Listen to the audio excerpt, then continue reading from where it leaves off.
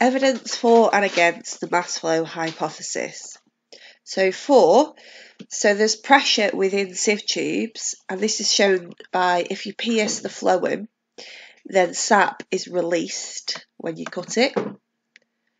The concentration of sucrose is higher in the leaves or the source than in the roots or the sink. Downward flow in the phloem occurs in the light, but it stops at night. Increases in sucrose in the leaf are followed by increases in sucrose in the phloem shortly after. If a ring of bark with the phloem but not xylem is removed from a woody stem, a bulge forms above the ring and the fluid from the bulge has a higher concentration of sugars than the fluid from below the ring.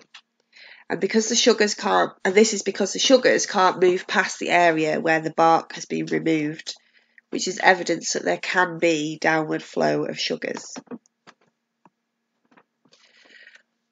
said this before, but the pressure in the phloem can be investigated using aphids, and they pierce the phloem, and then the sap flows out quicker nearer the leaves than further down, which is evidence that it's a pressure gradient.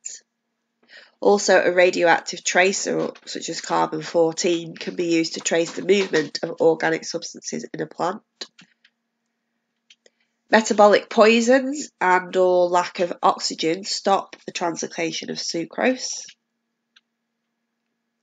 Companion cells have many mitochondria and readily produce ATP. But then there is some evidence against. So one thing is the function of the sieve plates is unclear and they actually appear to hinder mass flow. I mean, it has been suggested that they may have a structural function which helps prevent the tubes from bursting. Another reason against is not all solutes move, move at the same speed, and if it was mass flow, they should do.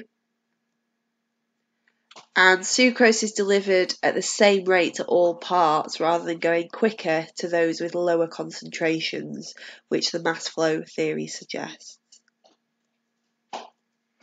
So here's a summary of the evidence supporting the mass flow theory. So there is pressure within sieve tubes, shown by the sap being released when the phloem is cut. The concentration of sucrose is higher in the source than in the sink. The downward flow of uh, in the phloem occurs in the light but stops at night. Increases in sucrose in the leaf are followed by increases in sucrose in the phloem shortly after.